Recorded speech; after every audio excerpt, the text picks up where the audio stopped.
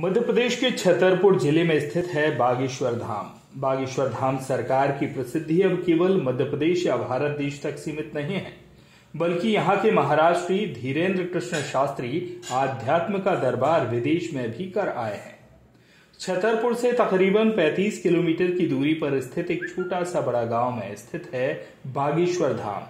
आप यहाँ पर हनुमान जी महाराज के बालाजी के रूप में दर्शन कर पाएँगे। यहाँ पर लोगों की समस्याओं को श्री धीरेन्द्र कृष्ण महाराज द्वारा सुना जाता है और उनका समाधान भी किया जाता है। लोग यहाँ पर काफ़ी दूर दूर से अधिक संख्या में आते हैं। बागेश्वर धाम सरकार वर्तमान समय में काफ़ी चर्चित भी हो गया है। यहाँ पर महाराज श्री धीरेन्द्र कृष्ण द्वारा लोगों के कहने से पहले ही उनकी समस्या उनके ही सामने पर्चे पर लिखकर बताती जाती है। यहाँ पर भूत प्रेत की समस्याओं से जुड़ी समाधान के लिए भी लोग काफ़ी दूर दूर से पहुँचते हैं। नरसिंहगढ़ से पहुँचे हमारे संवाददाता ने धाम पर पहुँचे श्रद्धालुओं से भी चर्चा की। इस दौरान कलाकार गगन सक्सेना ने अपने हाथों से बनाई तस्वीर भी महाराज श्री को भेंट की।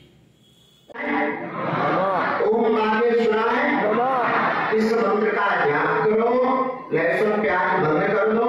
आप हमसे मिल पाओ या ना मिल पाओ अर्जी लग पाए या ना लग पाए, पर्चा बन पाए या ना बन पाए। बागेश्वर धाम पर किसी व्यक्ति विशेष की महिमा नहीं है। किसकी महिमा है? बागेश्वर बालाजी की महिमा है। और भैया, हम तो अपनी आँखों से देख रहे हैं। लाखों लोग हर में आते हैं, आठ से दस लाख। खाली हाथ आते हैं और जो नियम का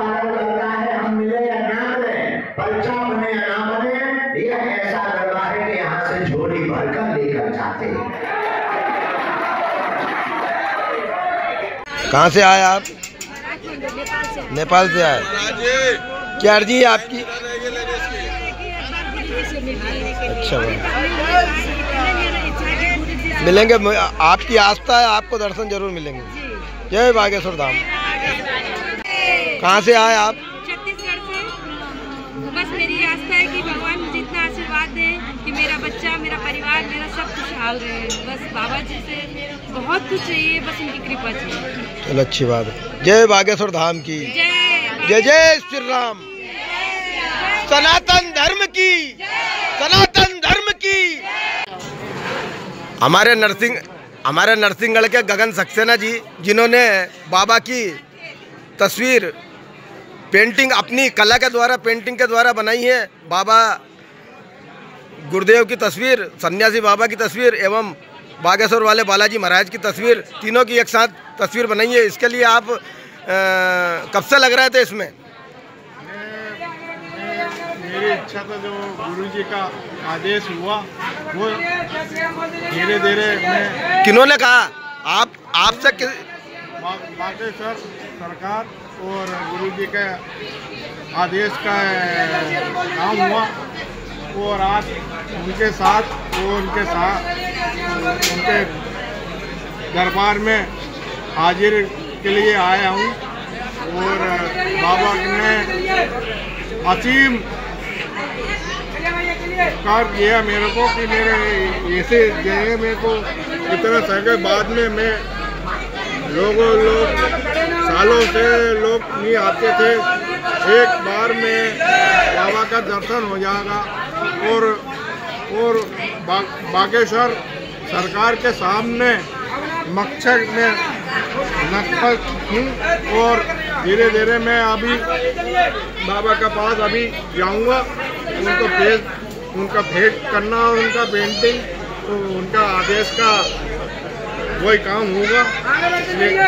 जय बागेश्वर बागेश्वर धाम की जय बोल के गगन जी सक्सेना ने जो देखी है ये पूरी की पूरी बागेश्वर धाम में दरबार लगा हुआ है और बा, बालाजी महाराज साक्षात विराजमान है।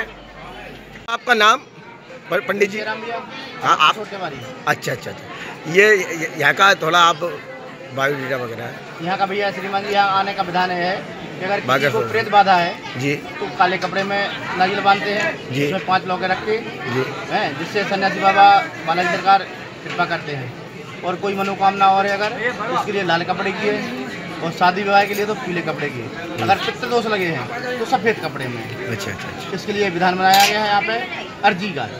और महाराज जी जब पर्चा बना देते हैं वो अर्जी लगी ही कहलाती है। और सिद्ध अभिमंत्रित नारियल मिलता है यहाँ पे। वो अपने घर पे पूजा अलवाई में भी रख सकते हैं आप या फिर उसको अपने मेन गेट पर भी बाँध सकते हैं। या अपने कोई कार्य व्यवसाय करते हैं उस दुकान के दरवाजे पे बाँध सकते हैं जिससे आपको तरक्की उन्नति होगी। मैंने कितनी बार आना पड़ता है यहाँ पर दरबार में हाजिरी लगाने के लिए? यहाँ आने का विधान तो है जैसे हमने अपने कर्म को सुधारने के लिए बालाजी से जीवन भर के लिए अगर जुड़ जाओ जी। उसी प्रकार से हर चीज़ में कहते हैं आराम जैसे दवा खाओगे वैसे वीरेंद्र सिंह की रिपोर्ट।